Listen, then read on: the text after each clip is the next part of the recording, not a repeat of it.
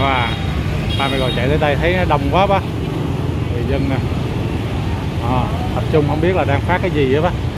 À phát cơm hay là phát gì nè? À. à, rất nhiều người biết. Đó có cái ông gì đang phát cái gì đó bác? À. Ồ phát quá trời cơm.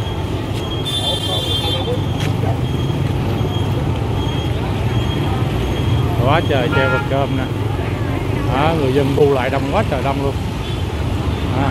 ta da ta da ta da. Sáng nay mời các bác ghé qua cái quán uh, Lê Ha này để uh, uh, ăn sáng này các bác. Là Michael uh, kêu một tô phở sườn bò uh, 195 ngàn và cà phê bọt biển 75 ngàn bác. Tổng thiệt hại là 270 ngàn. Hoa rất là đẹp các bác. À, có một cái bông hoa. Đây, góc cảnh ngồi ba Michael ngồi đây ngắm cảnh rồi bên đây là trong không gian không gian của quán ờ, à, đẹp ghê à, bàn ghế rất là sang trọng nha bác. À, bác thấy không? Trang trí rất là đẹp. Đây là ly cà phê bọc biển nha bác.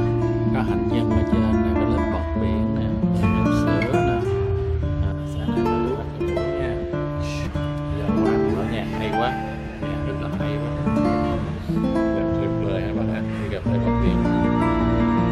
Ta sáng nay trời lạnh 20 độ C. À, mời các bác ăn phở sườn bò cho ba Michael nha. Đây quá hấp dẫn không bác còn phở sườn bò. Một ly cà phê bọt biển.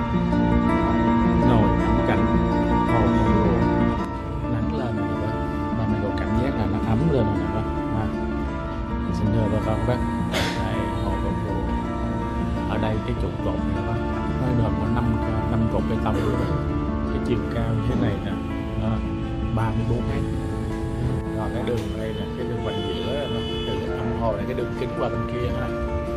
Là nó có một cái đường kính là 99 phẩy 99 mét nha. À, một cái động nha.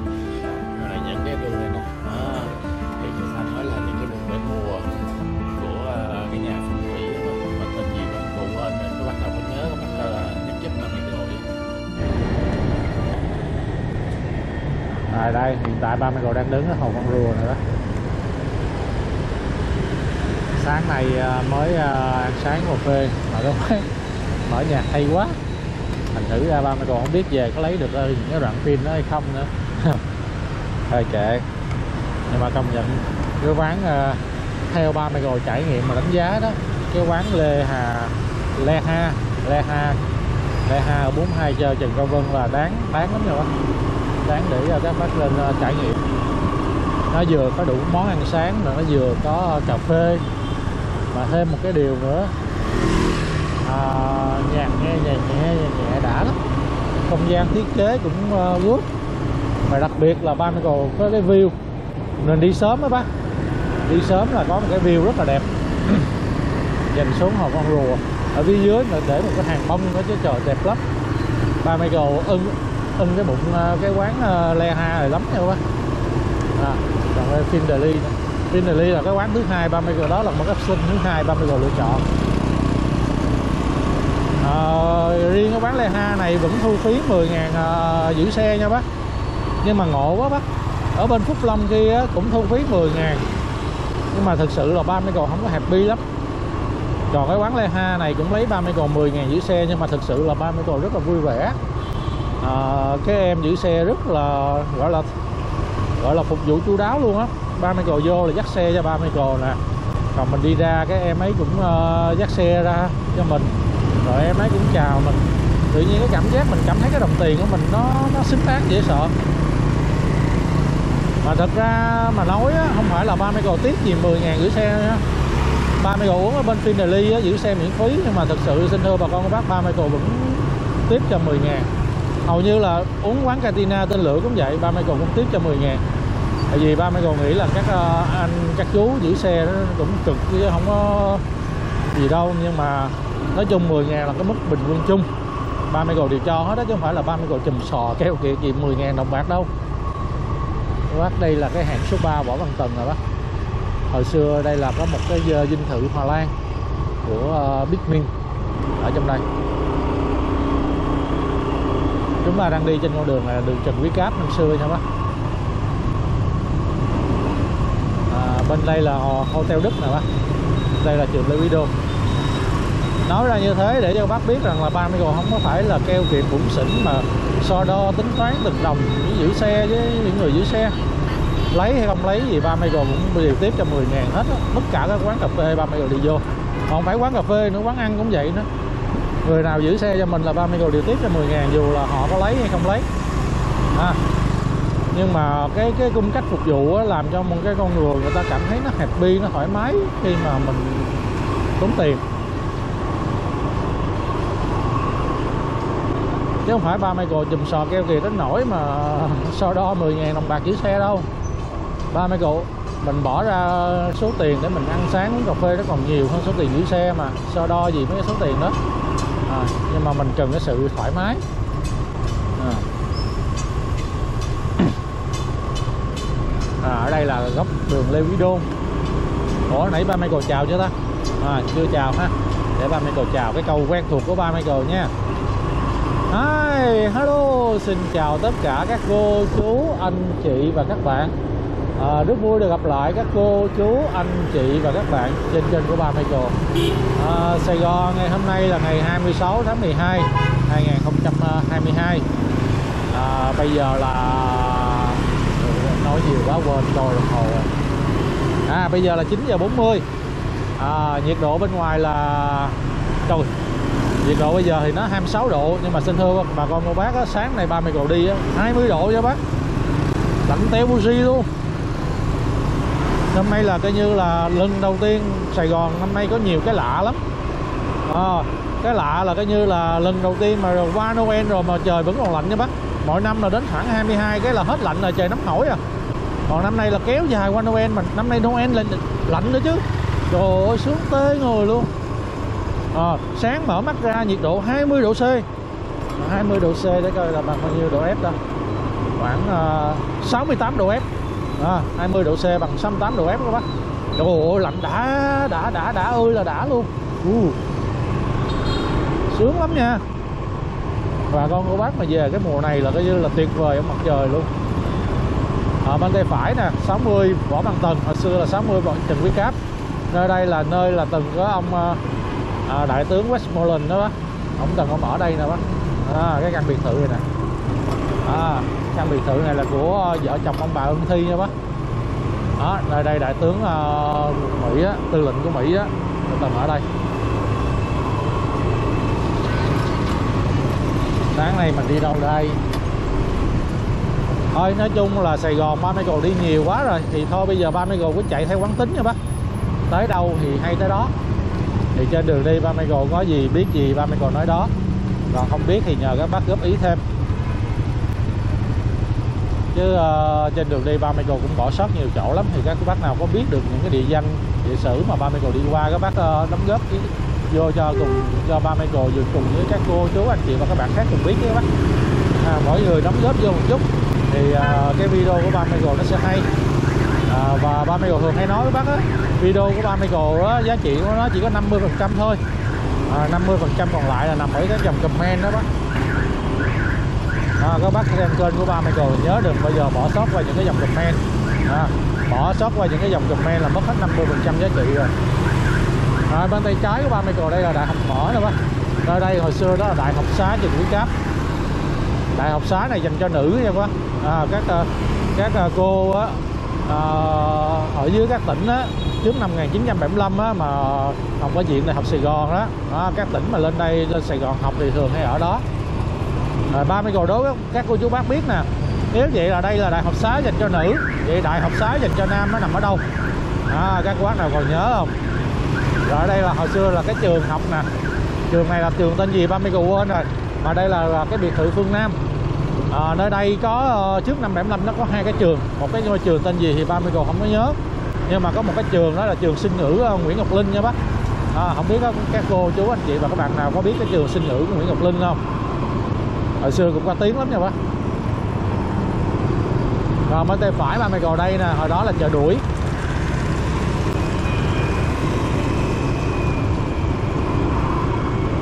À, đây là chợ đuổi bây giờ nó là ngân hàng Việt Băng nữa bác. À, đây đây là hồi xưa là chợ đuổi. Nhìn qua bên kia đó là rạp Nam Quang đó bác. Ở góc đường này là góc đường à, cách mạng tháng 8 với đường Võ Văn tần, hồi xưa trước năm 1975 thì đây là đường Lê Văn Duyệt với đường Trần Quý Cáp. Giờ ba mươi còn quẹo phải ha. À, mình quẹo phải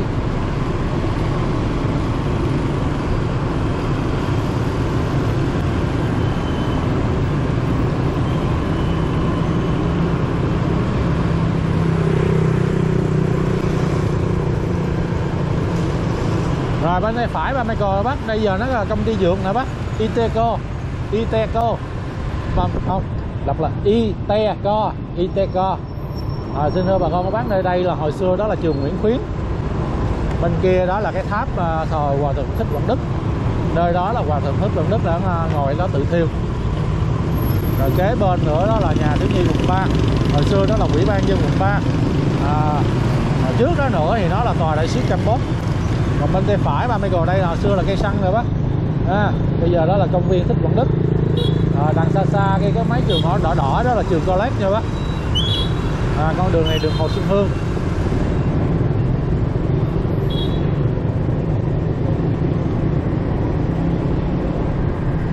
Rồi ba Michael đang đi tới đây là số 76 đường cách mạng tháng 8 Hồi xưa là đường Lê Văn Duyệt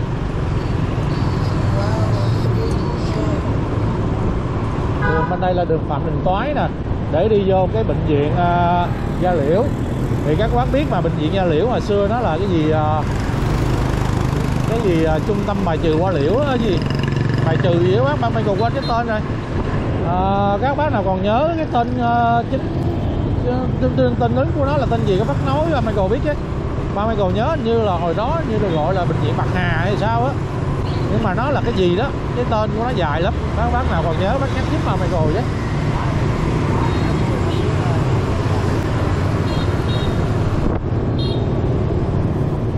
rồi tới nước tiếp theo. Bên tay phải là Thora Cao nè. Nổi tiếng một thời thập niên 90 nha bác? À, con đường này là ngã tư. Đường à, cách mạng tháng 8 với đường à, điện biên phủ. Thì à, con đường này hồi đó nó là ngã tư đường lê văn duyệt. Với lại đường à, Phan Thanh Giảng.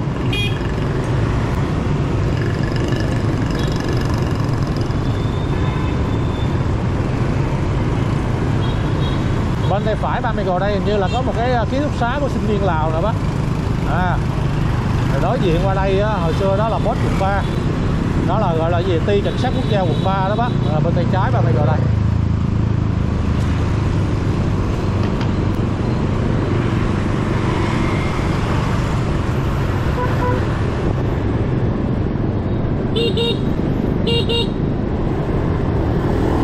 Rồi bên tay phải này là à, trung tâm 126 Tại vì nó địa chỉ của nó là 126 cách mạng 8 Nơi đây hồi xưa là có sân khấu ca nhạc 126 nè. Trước đó nữa nó là cư xá uh, sinh viên Phục Hưng à, Của bên công giáo bác Hình như là của cái dòng uh, Dòng Nam Minh đó thôi Ba mươi còn không nhớ rõ nữa Hình như là như vậy đó. Rồi bên tay phải đây nè Hồi xưa có cái cộng đoàn ờ, uh, là cộng đoàn La Sang Hùng Vương ở đây. À, bây giờ là trường trung học Lê Lợi ở đó người ta còn gọi là La Sang Ngù các bác. À, La Sang à, La Sang Hiền Vương. À, ngay đây là Phùng Binh công trường à, dân chủ. Bên tay phải bên gọi là đường Lý Chính Thắng nè hồi xưa là đường Yên đổ nè. Rồi con đường trước mặt của mình đó bác. Hồi xưa nó chỉ là đường rầy xe lửa thôi bây giờ nó là đường Nguyễn Phúc Nguyên. Và khi mà nó mở ra con đường rồi đó thì có một cái làng nghề đó, đó là nghề gốm sứ đó bác. Họ về đây họ họ mở tiệm thành thử ra mình có thể gọi đó là con đường gốm sứ đi thẳng vô ga Sài Gòn. Trước năm 75 sau năm 75 luôn. Thì nó chỉ là một cái con đường để uh, đưa xe lửa vào ga Hòa Hưng thôi. Rồi qua đây nè con đường này vẫn là đường uh, Lê Văn Duyệt năm xưa. Ngay góc đường bên tay trái của ba Michael bác hồi xưa đó là quân vụ thị trấn đó bác. À, nơi đó mình thường hay gọi đó là tiểu đoàn 6 quân cảnh đó, là đóng ở đây à, mình gọi là quân vụ thị trấn. À, các cô chú bác nào mà bị bắt lính á, là thường hay biết cái chỗ quân vụ thị trấn này.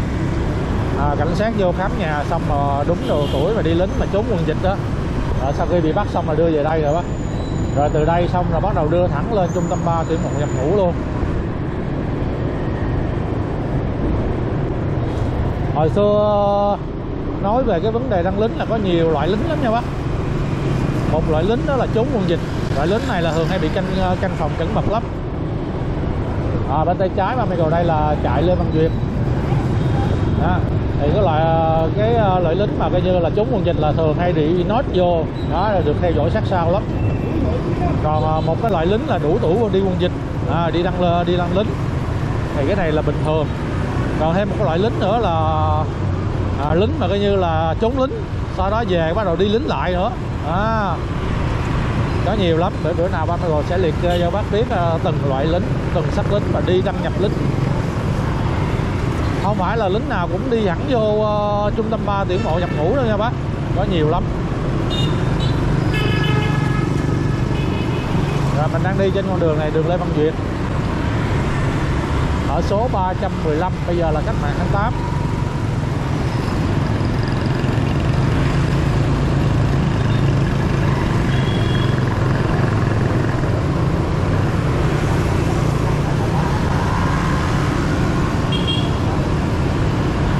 bên tay trái ba mày cầu đây là Hòa Hưng rồi bác. Con đường này là đi vô khám lớn ờ, khám Chí Hòa. Hay là gọi là chạy giam Chí Hòa đó. Mà trước năm 1975 á, thì mấy cái trại giam người ta gọi là trung tâm cải huấn nha bác. À, hay còn một cái tên thân mật nữa đó là nhà lao. À, con đường này đường Hòa Hưng. Ôi cha con đường Hòa Hưng giờ mới sửa lại nè bác. Chán nhựa lại rồi nè lâu rồi ba mẹ còn cũng chưa đi nè.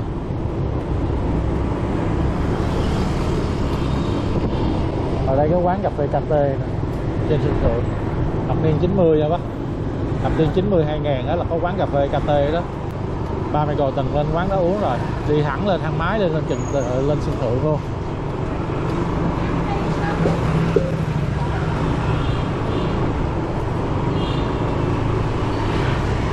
à, con Vâng, đường này mới làm lại.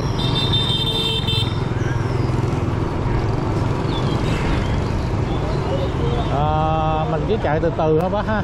Chạy tàn tàn cho bác ngắm cảnh. Con đường Hòa Hưng này nè bác trời hồi xưa mà đến mùa mưa cái ngập ghê lắm. Ngập kinh hồn luôn. Đó không nói hồi xưa đâu. Cách đây cỡ hai năm ba năm thôi là nó đã ngập rồi. Cái đường Hòa Hưng này là mưa lớn cái là nó ngập ghê lắm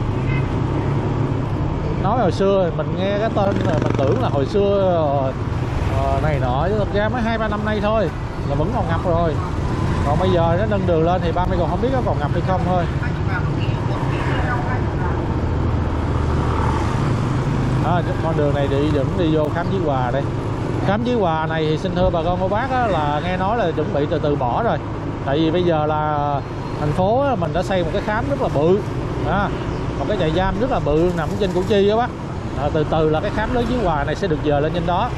À, tại vì cái khu vực này là khu vực dân cư à. hồi xưa thời mà pháp xây cái khu vực này là khu ngoại ô. À, pháp dời cái khám lớn chiến hòa nằm ngay chỗ trung tâm đó bác. Bây giờ nó là cái thư viện uh, tổng hợp á. Hồi đó nó là thư viện quốc gia.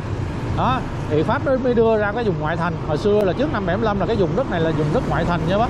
À, nơi đây là danh trại lính đóng nhiều lắm. Đó thì mới đưa cái trại giam ra đây. Đó nhưng mà thời này bắt đầu dân cư càng ngày càng đông. Đó, dân nhập cư vô cũng nhiều. Thành thử ra là nơi đây trở thành cái trung tâm thành uh, Sài Gòn. Thì giờ bắt buộc phải đưa cái trại giam này ra ngoài thôi. Thì ở đây bây giờ người ta đang có hai cái uh, phương án nha bác. Đang ờ, đang bàn thôi chứ chưa có quyết định là cái phương án nào. Một có nghĩa là đập bỏ cái khu trại giam này luôn. À, đập bỏ khu trại giam này luôn.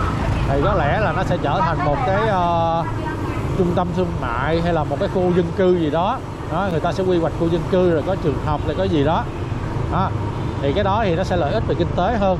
Ở cái bác biết mà tích đất tích vàng mà cứ xây nhà lên là coi như là có tiền à, à nhưng mà có một cái uh, ý kiến thứ hai nữa đó là bảo tồn các bác tại nơi đây là một cái uh, cái nhà khám này là coi như là cả một cái uh, bề dày lịch sử rồi bác à, gắn liền với uh, người dân Sài Gòn lắm và cả nước luôn á đó. có một cái bề dày lịch sử. Thì uh, một số người thì người ta đang uh, đề nghị là coi như là đưa đưa nó trở thành một cái uh, à, cái nơi mà gọi là bảo tàng hay gọi là cái khu mà tham quan di tích lịch sử đó. À, giống như bây giờ là xin thưa bà con cô bác. À, các bác có biết là nhà thương chợ quán không? Đó nhà thương chợ quán bên trong nhà thương chợ quán đó có một cái uh, chạy giam nha bác và bây giờ là chính thức là thành phố đã quyết định là coi như là mở cái cái, cái nhà giam trong đó là trở thành một cái khu mà tham quan du lịch nữa bác. Sắp tới đây vào nhân à, dịp mà năm 120 năm ngày sinh của cố tổng bí thư à, Trần Phú. Thì các bác biết ông Trần Phú này là coi như là giỏi lắm nha bác. Ông là tổng bí thư à, đảng cộng sản đông dương. Đó là tiền thân của đảng cộng sản việt nam bây giờ rồi bác. À, ông này giỏi lắm. Nói chung là lên cái vai trò mà tổng bí thư là thì về nước việt nam thì hồi xưa thì ba mẹ còn biết nhưng mà có bác biết mà. À, à, về cái ở Việt Nam mình đó là quản lý á, là nhà nước quản lý. À, nhưng mà quản lý theo cái đường lối chủ trương và chính sách của đảng nha bác. À, cho nên là cái người mà tổng bí thư á, đồng chí nào mà làm giữ cái vai trò tổng bí thư là coi như là cái vai trò nó giống như là một cái lãnh tụ vậy bác. À, có hai cái vai trò một là tổng bí thư hai là chủ tịch nước. Đây là hai cái cương cái cương vị mà coi như là cao nhất ở Việt Nam. Một bên về hành chính và một bên về ờ, đường lối. Thì ông ờ, Trần Phú này là ông là tổng bí thư đầu tiên của đảng cộng sản đông dương rồi bác à, ờ, tiền thân của đảng cộng sản Việt Nam bây giờ. Ô mình chạy vô đây tới đây là cái trại đầu Bá Phước rồi bác à, đây là trại đầu Bá Phước. Ở đây có một cái uh, miếu tiên sư rồi bác là cái miếu này nè. Bây giờ là phòng tập thể dục thể hình này nơi đây vào cái dịp mà rằm tháng 7 á bác là diễn ra cúng lớn lắm. Cái miếu tiên sư bây giờ vẫn còn nha bác. À, cái miếu tiên sư vẫn còn. Thì nơi đây là trại đào Bá Phước bộ tư lệnh của biệt động quân.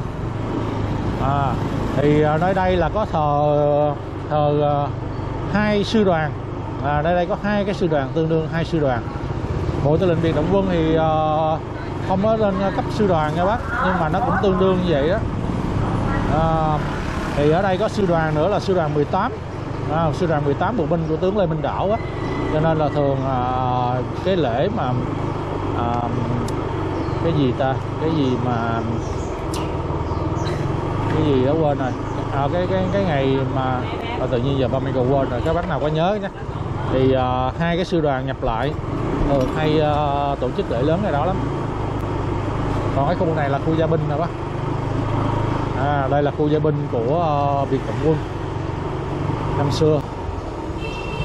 Mà tại sao có sự mà sư đoàn 18 bộ binh mà tự nhiên mà nó nằm bên trong đất của trại đầu Bá Phước này? Xin thưa bà con bác trước khi mà có bộ tư lệnh Việt Cộng quân đóng ở đây nè thì cái vùng đất này là cái trại ờ, khu gia binh này nè là thuộc về ờ, sư đoàn 18 bộ binh nha bác. Mà hồi xưa tiền thân của sư đoàn 18 bộ binh đó nó không phải là sư đoàn 18 nha bác nó là sư đoàn 10 sư đoàn 10 bộ binh à, nhưng mà do cái sư đoàn 10 này thì uh, nổi tiếng nhất là trong quân lực Việt Nam Cộng Hòa là đánh đâu thua đó. Nó dở lắm á? À, thành thử ra khi mà vậy thì người ta nói là cái sự ờ, không có may mắn.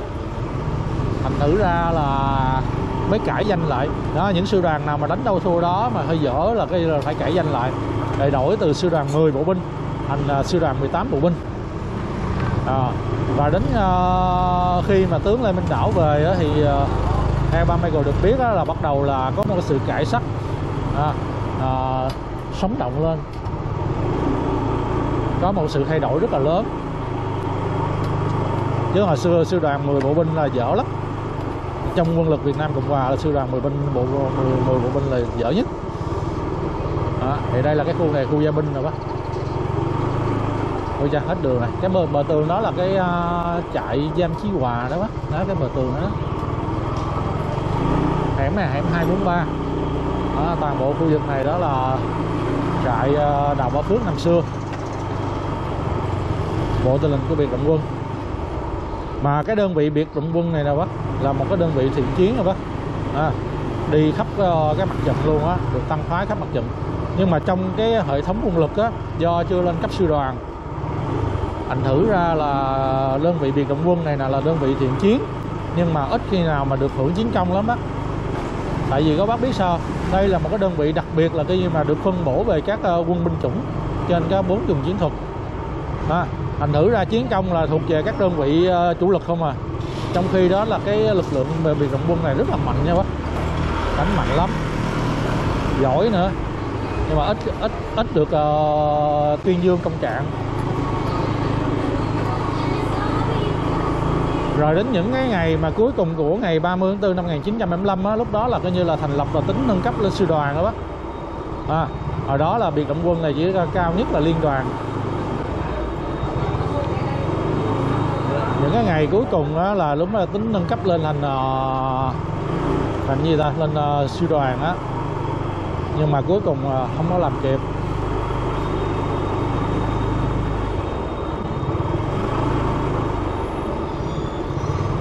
Mà trong cái quân số á, chỉ có sau bộ binh thôi chứ liên cái biệt động quân này là bắt là cũng nhiều lắm nha. Ồ, số lượng cũng nhiều lắm á. Chỉ sau có lực lượng bộ binh thôi đó. Rồi ba Michael đang ở hẻm 163 ở đây. À, khu này là hồi xưa đó là khu gia binh nha bác.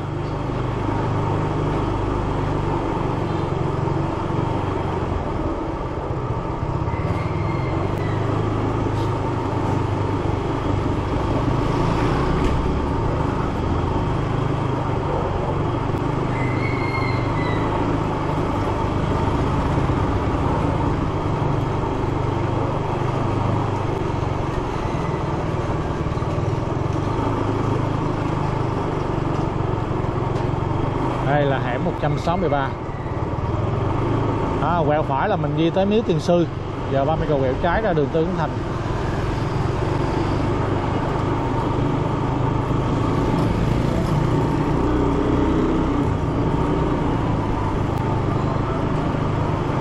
Ốc xí lẩu. À cái cái khu vực này người quản cũng vô ở nhiều nhau quá. Người quản với người huế.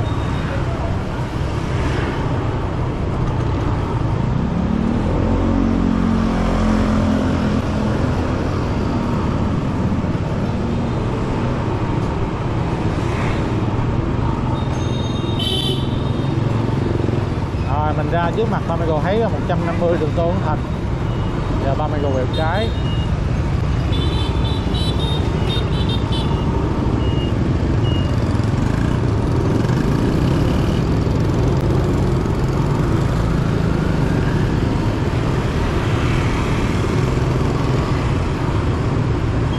à bên tay phải ba Michael đây còn còn một cái cổng ờ, doanh trại quân đội nè bác xin thưa bà con cô bác bên tay phải ba ngồi đây. Hồi xưa đó là trung tâm 3 đơn vị quản trị trung ương. À, nơi mà coi như là xem xét mấy cái hồ sơ mà lính giải ngũ á bác.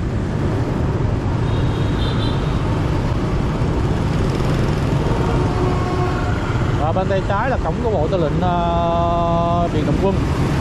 À, chạy đào ba Phước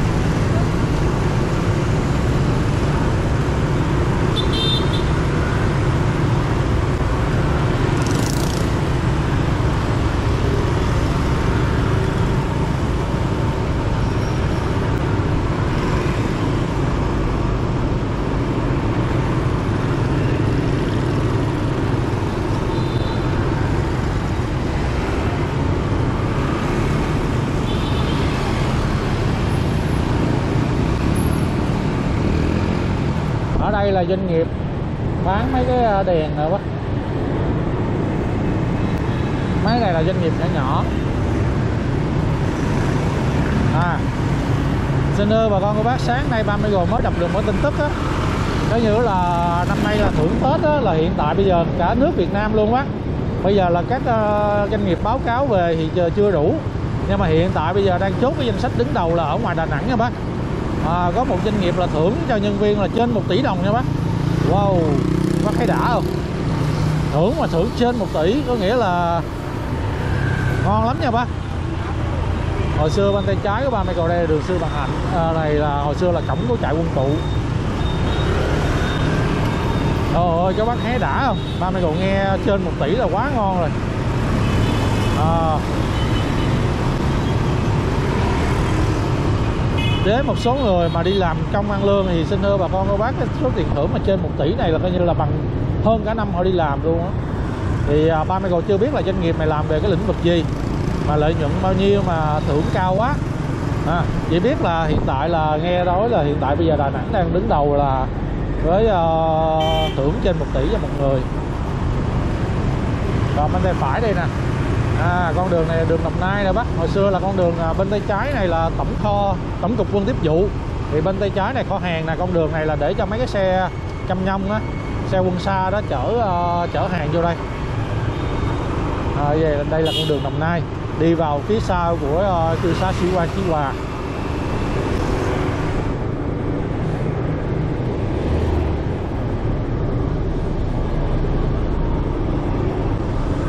Thì à, nói về cái vấn đề thưởng Tết á năm nào cũng vậy bác. Người dân Việt Nam thì có một cái thói quen tâm lý là coi như là đến Tết là mong chờ vô cái tiền thưởng nha bác. Thật sự ờ, cái vấn đề mà thưởng tiền á thưởng Tết á là không có nằm trong cái khái niệm mà luật lao động nha bác. Cũng giống như ở nước ngoài á xin thưa bà con cô bác bây giờ thì ba mươi còn không biết làm sao. À, bây giờ ba mươi còn không biết nha. Nhưng mà hồi đó đó thì xin thưa bà con cô bác những người mà đi làm đặc biệt là ở Mỹ nói chung là ở nước ngoài không có một cái khái niệm gì mà đi làm mà để Tết mong tiền thưởng nha bác. À, ba mày còn nhớ ở Cali coi như là mấy chủ không, không cần biết là nó giàu hay nó nghèo rồi nó làm ăn được hay không được. À, nhiều khi là nó thưởng Tết là nó, nó tổ chức một cái bữa party. À nó tới cái độ đó đến nhà hàng đó cái này đó là tới đó ăn một bữa nó thưởng cho bữa ăn thôi.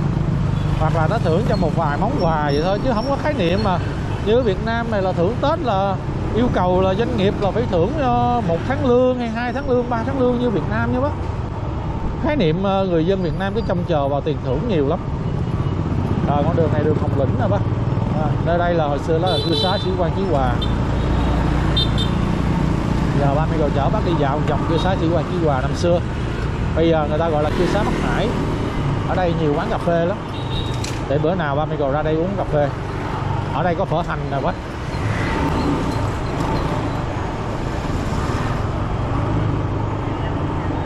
Phở hành này không biết chắc người ta bỏ hành nhiều cho nên gọi là phở hành. Rồi con đường này là con đường à, đường gì đây? À, không biết. À đường Cửu Long. À, xin thưa bà con bác đây là đường Cửu Long.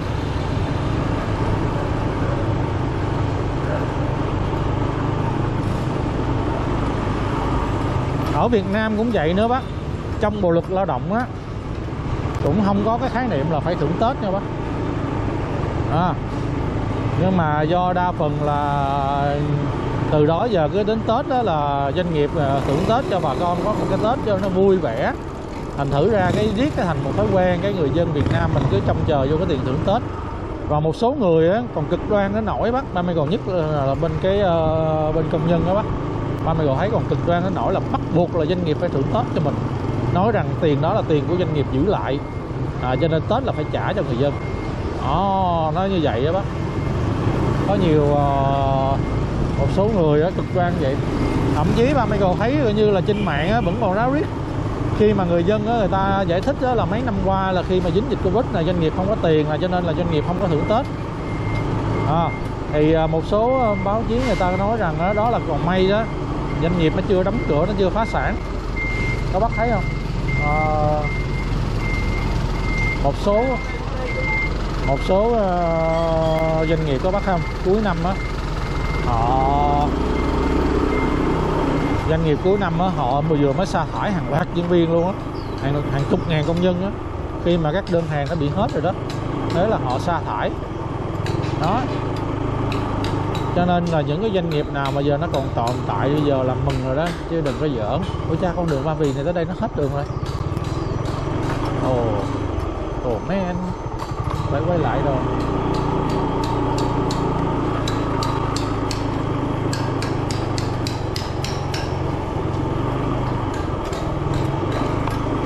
Cho nên là nó còn tồn tại được nó trả lương là mừng rồi.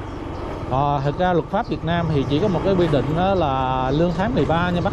À, năm tài chính của doanh nghiệp mà năm tài chính doanh nghiệp thường hay tính theo à, Tết Tây.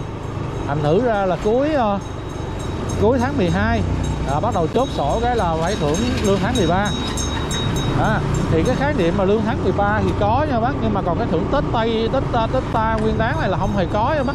À, doanh nghiệp chỉ thưởng thêm doanh nghiệp làm ăn được thì họ thưởng thêm thôi. Chứ không có khái niệm là bắt người dân người ta phải trả tiền. Rồi còn có một số người mà Michael thấy cực kỳ cực đoan luôn. À, khi mà được giải thích gì đó là doanh nghiệp năm nay làm ăn không có được. Thành thử ra là không có thưởng Tết cho mọi người. Thế là một số người không biết ở đâu á ai nói thì sao á. Yêu cầu là công ty là phải công khai công khai uh, tài chính cho công nhân được biết là năm nay là làm ăn lời lỗ bao nhiêu à, để cho người dân được biết. Chứ bây giờ người dân mù mờ quá. À, tự nhiên họ có một cái cái cái cái cái một cái tự nhiên họ nâng cái tầm của mình lên. À, các bác thấy không? Ba mươi cầu thấy ba mươi cầu đọc vô cái ba mươi cầu cảm thấy uh, nó rất là buồn cười à, bây giờ doanh nghiệp là bây giờ tôi là chủ lao động. Mà bây giờ ờ, tôi nói năm nay tôi làm ăn không được tôi không có thưởng tết. Cái họ cái danh công công nhân bây giờ là yêu cầu là hàng năm là công công ty là phải công khai lời lỗi cho doanh nghiệp được biết. Ồ tự nhiên họ cho mình một cái quyền rất là cao luôn. Mà mày gọi thấy cái đó là hơi buồn cười á. Thực chất á, xin thưa bà con cô bác á cái vai trò mà giữa người lao động với người chủ lao động là bán bán cái công sức để lấy lương nha bác. À, tôi thuê anh vô hàng tháng tôi bao nhiêu, tôi trả anh bao nhiêu lương anh là coi như là anh bán sức lao động cho tôi và tôi trả lương lại cho anh cái, với cái công sức lao động tương ứng của anh. Và theo luật của nhà nước là tôi trả anh lương tháng 13 là xong. Bây giờ cái chuyện thưởng tết là tôi thích thì tôi thưởng, tôi không thích thì thôi, chứ mắc cái gì mà anh yêu cầu. Rồi và không thưởng tết là anh yêu cầu tôi là phải công khai tài chính cho anh được biết. Cái đó là ba Michael thấy hơi buồn cười nữa cái đó là hơi lạ, hơi lố. Thực sự là hơi lố cứ cho rằng là đó cái thưởng tết đó là là cái cái cái quyền của họ. Cái đó không có nha bác. À, không có khái niệm thưởng tết ở đây nha bác. À, tôi thương tôi thích anh thì tôi thừa tôi thưởng. Năm đó công ty làm ăn được thì tôi thưởng thôi. Chứ không có cái luật nào mà bắt anh là phải thưởng cho tôi rồi. Còn anh không thưởng là anh phải công khai tài chính cho tôi. Chỉ khi nào á anh bỏ cái cái tiền anh vô anh đóng góp cổ phần đó bác. Anh sẽ được biết công khai tài chính cho anh với điều kiện là công nhân bây giờ bỏ tiền vô đóng góp cổ phần đấy thì mấy anh mới có quyền khi mà anh có cổ phần thì đồng nghĩa là giống như anh là chủ của doanh nghiệp. Thì lúc đó anh mới có quyền. Anh muốn công khai anh muốn biết cái tài chính của doanh nghiệp như thế nào. Còn tự nhiên anh đi vô tôi thuê anh vô làm công. Cái giờ tự nhiên anh bắt tôi phải đi công khai tài chính cho anh biết.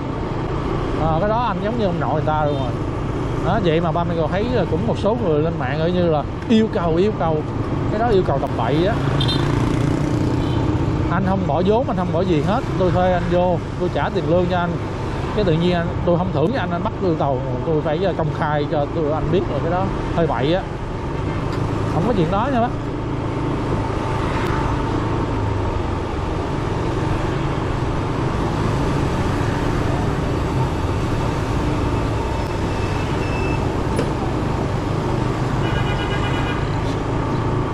Rồi đây là đường Trường Sơn.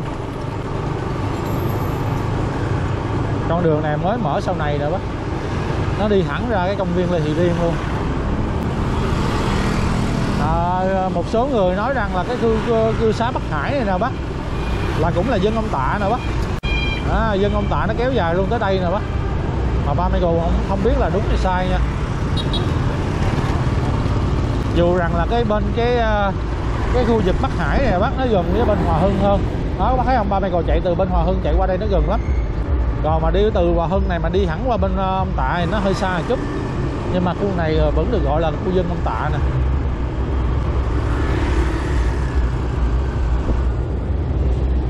Đoạn đường này đường Đồng Nai nè.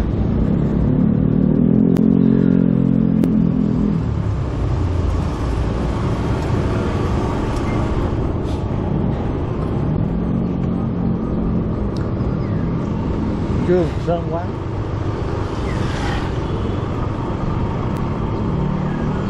trước mặt các bác đó là bưu điện đa khoa bệnh viện đa khoa bưu điện. Thì trước năm 1975 đây là có phải là bệnh viện không thì ba Michael không biết. Các cô chú anh chị và các bạn nào có biết thì xin ờ, nhắc giúp ba Michael à, ờ, đây có một cái bệnh viện bưu điện.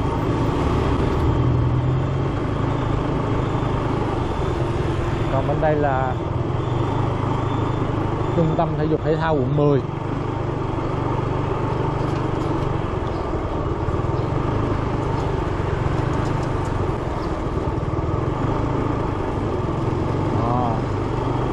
đây là câu lạc bộ ờ, bơi lặn Nguyễn Tri Phương.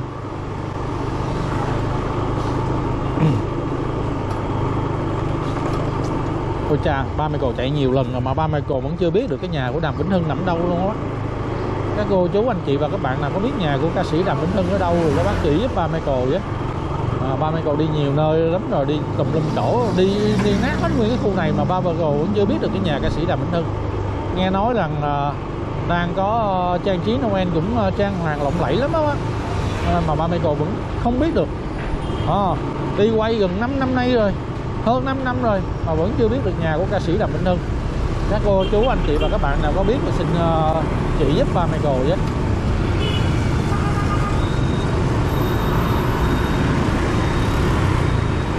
mình ra đây. Con đường này là con đường Bắc Hải nè.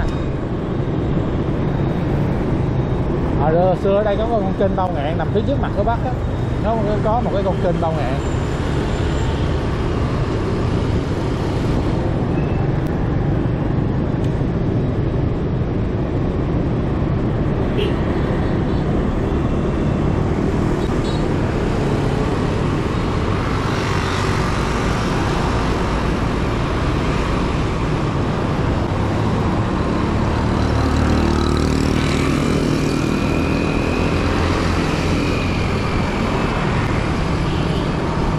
khu này là quá đến dịp Tết là có nguyên một cái ờ, chợ bán hoa ở đây.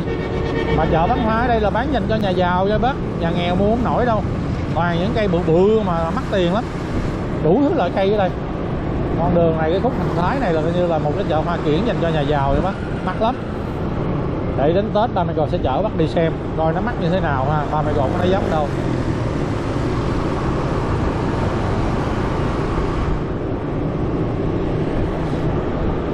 Rồi con đường phía trước mặt đó là con đường Lý Thường Kiệt nha bác. Con đường Lý Thường Kiệt này hồi xưa nó tên là con đường uh, Nguyễn Văn Thoại. À trước mặt của bác đó nguyên cái chung cư Thuận Việt đó bác. Xin thưa bà con của bác nơi đây nè. Hồi xưa đó là trường nữ quân nhân nè bác. Bên tay phải này là rừng cao su. À, bên tay phải mình đi hướng lên bài Bảy Hiền này là rừng cao su. Còn trước mặt các bác đây à, đó là trường nữ quân nhân nha.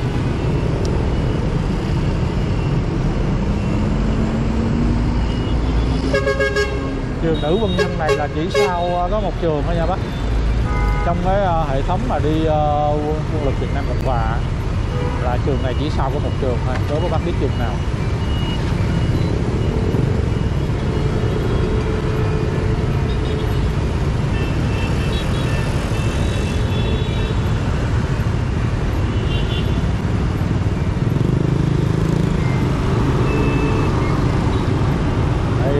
Xin thưa với các cô bác ba mẹ gò nói uh, theo cảm tính thôi nha. Uh, chứ thật sự là không có biết là có ba mẹ gò không biết rằng là có sự phân cấp như thế có đúng hay không. Nhưng mà ba mẹ gò ờ, nói theo cái cảm giác của mình thôi. Thì uh, để mình biết cái phân biệt ra được uh, thứ cấp bậc và như là nói chung là sự ưu tiên uh, lớn nhỏ thì ba mẹ gò xin lấy những cái dấu mốc. Uh, đó là trong những cái cuộc mà diễn binh đó bác. Hồi xưa trước năm 1975 á thì vào những cái dịp lễ lớn à, có thể là hai năm một lần. Thì à, sẽ có một cái cuộc diễn binh. À, thì à, trong cái à, trong cái quá trình mà diễn binh á, thì cái lực lượng đầu tiên cái người đi đầu thì đó là cái à, cái người là, là chủ cái diễn binh rồi. Thì thường á, là do giao về cho uh, cho cho hình như là cái gì đó cho cái ông tướng uh, nói chung là uh, bộ tư lệnh biệt khu thủ đô á mà không phải là bộ tư lệnh biệt khu thủ đô nữa. Bộ tư lệnh biệt khu thủ đô cũng không nữa mà nó gọi là quân khu ba. À, giao về cho quân khu ba. À, quân khu ba nó lớn hơn biệt khu ờ, thủ đô nha bác. Biệt khu thủ đô chỉ là một phần của quân khu ba thôi. À, thì giao về cho quân khu ba. Thì người đi tư lệnh ờ, quân khu ba là đi đầu. Là dùng ba đó. Rồi à, tiếp theo nữa đó là trường thiếu sinh quân nha bác à, trường thiếu sinh quân nó nằm ở ngoài Vũng Tàu á. Đó. đó là lực lượng à, con cưng của quân lực Việt Nam Cộng Hòa đó. Và sau thiếu sinh quân đó là trường nữ quân nhân này nè bác. À, đó là xếp sắp xếp theo thứ tự á. À, trong cái, những cái cuộc mà đi diễn binh đó à, ờ, hồi xưa trước năm 75 thì gọi là diễn binh nha bác. Còn bây giờ thì mình gọi là diễu binh hoặc là diễu hành hay là duyệt binh. À. bên tay trái này là ô bưu điện phú thọ ba vừa qua rồi. À, trường này là trường kỹ sư phú thọ nè hồi xưa từ cái mé cái tòa nhà cao á cái chỗ mà bệnh viện trưng vương á kéo dài luôn. Lên tới uh, chợ tân bình thì cái khu vực bên tay trái ba mươi gò đây người ta gọi đó là phúng thọ liều.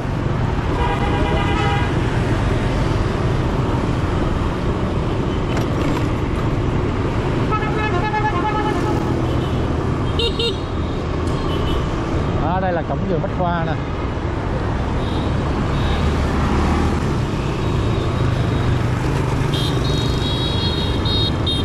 Bên tay phải này là cư xá uh, Lữ Gia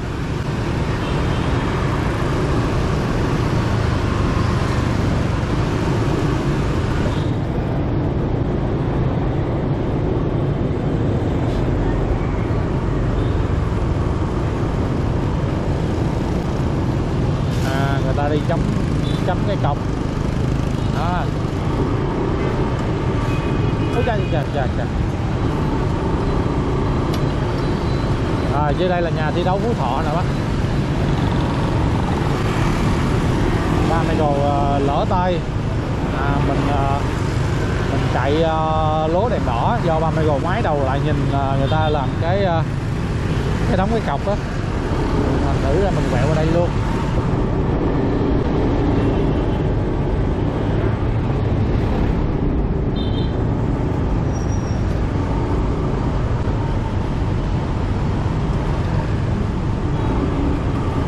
mình quẹo qua đây thì mình không cần phải chờ đèn đỏ nha bác.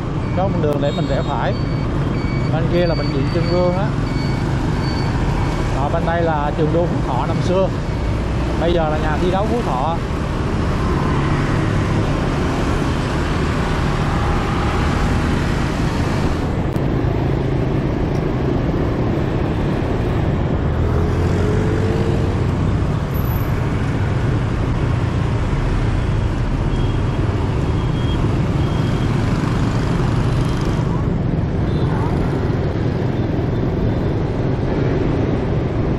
Rồi đối diện qua cái cổng à, nhà thi đấu Phú Thọ nè bác bên tay trái ba mày gồ đây nè bác.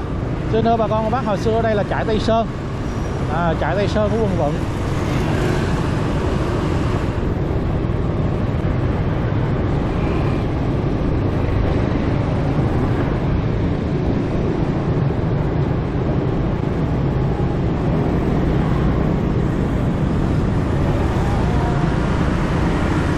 rồi tới đây là hết trại Tây Sơn rồi nè còn qua mé bên kia đó bác tiếp theo nữa cái trại này người ta gọi là trại Nhật Tảo nha bác. À đây đây là cái trại Nhật Tảo. Đó các bác thấy không? Trước năm 1975 á ờ, những cái khu vực ở đây á, là ờ, cơ quan quân sự rất là nhiều. À, đây là dùng ờ, mà mình thường hay gọi là đất quân sự đó dùng cấm nha bác. Những cái khu vực này là dùng cấm á. Thì các bác có biết tại sao không? Thật ra bây giờ Sài Gòn mình rộng quá cho nên mở rộng cái phạm vi ra thành thử ra những cái vùng như thế này trở thành à, à, khu trung tâm. Thành thử ra bây giờ ba mươi cầu đi quay các bác thấy rõ ràng không? Vì gì đâu mà trong trung tâm Sài Gòn gì đâu mà hồi xưa toàn là quân sự không? Nhưng mà không phải vậy đó bác.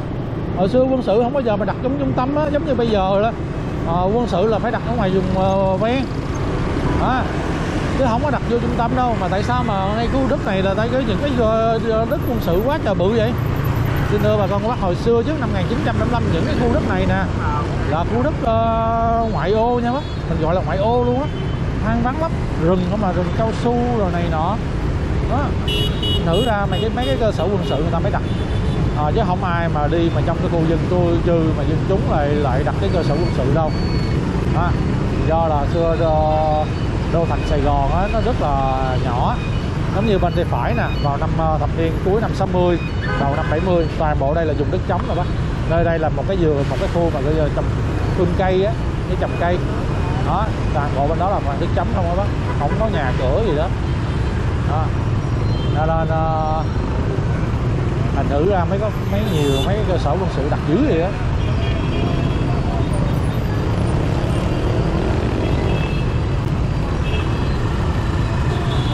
ba mươi rồi đi tới đây rồi. À, tới đây. Thôi giờ sẽ chở bắt đi dạo vòng chợ Nguyễn Duy Phương đi.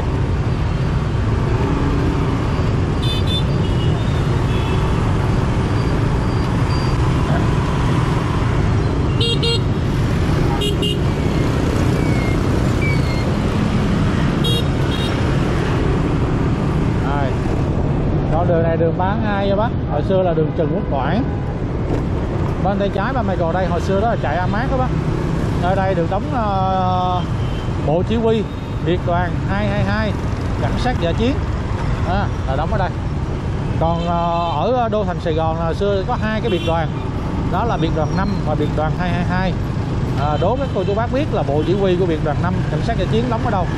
Các bác nào mà nói được thì uh, ngày mai uh, ba Michael sẽ chở bác đi lên cái chỗ đó.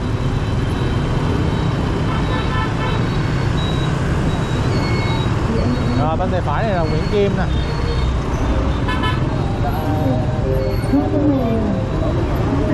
Đây đây là mấy cái ốp lên điện thoại bán nhiều lắm.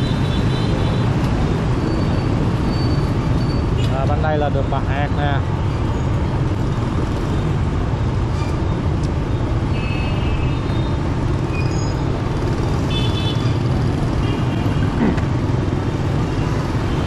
Khu này khu điện tử Nguyễn Kim.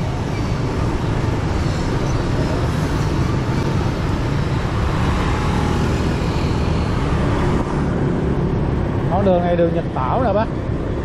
Để ba mày gục về trái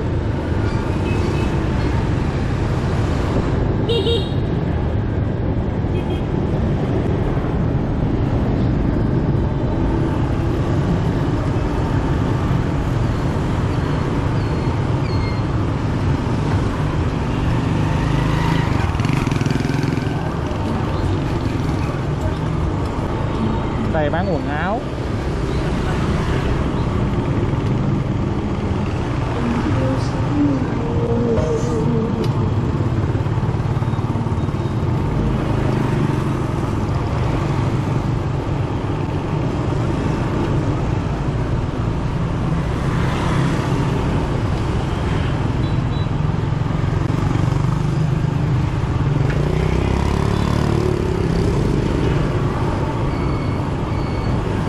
À, ngay nhà mình đang sửa sửa bác hồi xưa là nhà của gia đình nhạc sĩ Lam Phương đó giờ ba mấy cầu chợ bác đi dạo vòng chợ uh, Nguyễn Duy Phương nha bác. Chợ Nguyễn Duy Phương quận 10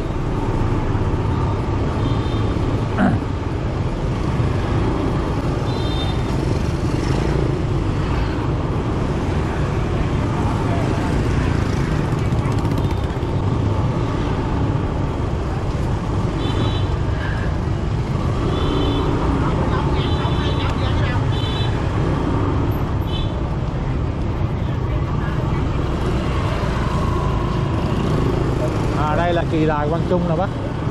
Trước năm 75 gọi là tượng đài Quang Trung. Hôm này là thánh tổ quân vận. À, chợ này chợ Nguyễn Duy Phương nha bác. Dưới nhà ai mà có chuột nó chạy xuống dòng tủ lạnh trên lo con thì phải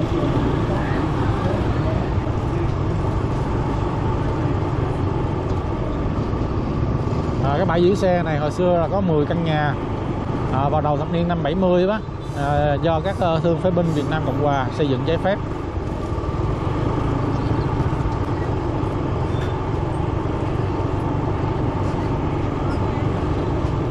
à, tượng kỳ đài Quang Trung này là là để kỷ niệm vào cái chiến thắng à, mùa xuân năm kỷ dậu á bác.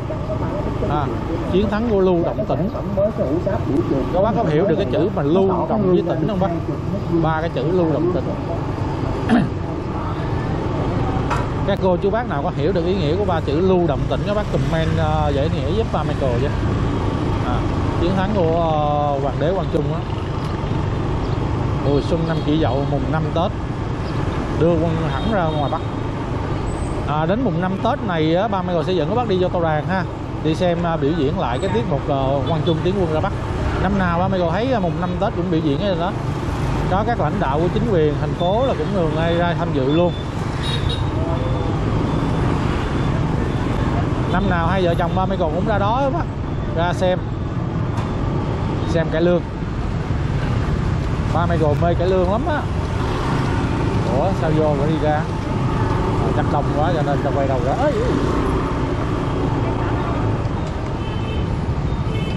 rồi con đường này đường Ngô Quyền nữa bác đường Ngô Quyền này là hồi xưa là đường Triệu Đà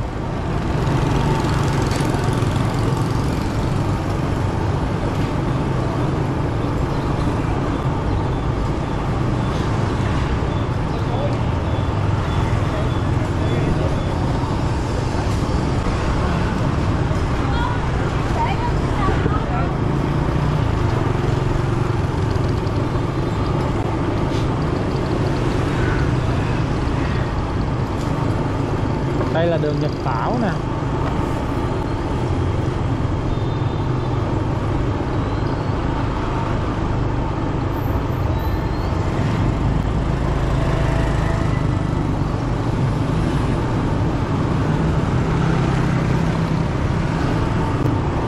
ở đây có cái thánh thất chợ lớn của đạo cao đài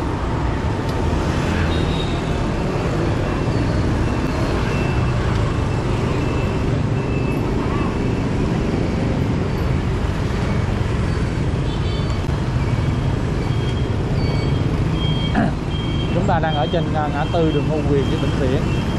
Hồi xưa là à, Triệu Đà với Vĩnh Viễn.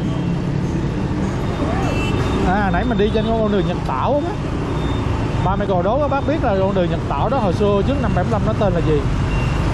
À các cô chú anh chị và các bạn nào mà nói được đúng cái tên đó là ba mẹ à, à, phục các cô chú bác xác đất luôn. Hiếm người nào để ý hiếm người nào nhớ lắm á. À, đường Nhật Tảo trước năm 1975 nó được mang tên là gì? À, à mình cầu đố các cô chú anh chị và các bạn nào biết được? Còn đường Tân Phước này mình quẹo là mình đi tới sân banh Cộng Hòa đó bác.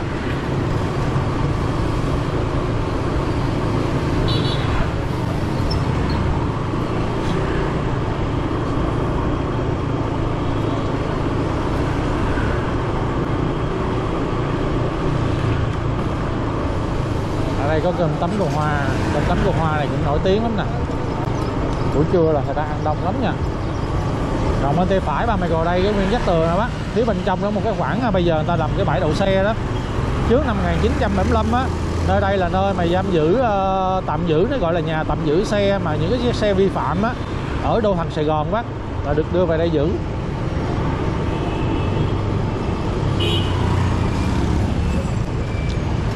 Rồi đây là đường Đào Duy Từ. Quẹo trái ra đường Nguyễn Duy Phương nè. Quẹo phải cũng đi về sân manh Đô Thành nè. Thôi không phải sân manh Cộng Hòa mới đúng 30 mươi lộn. À, thôi uh, video nó cũng đã dài rồi. 30 mươi xin chào tạm biệt tất cả các cô chú anh chị và các bạn.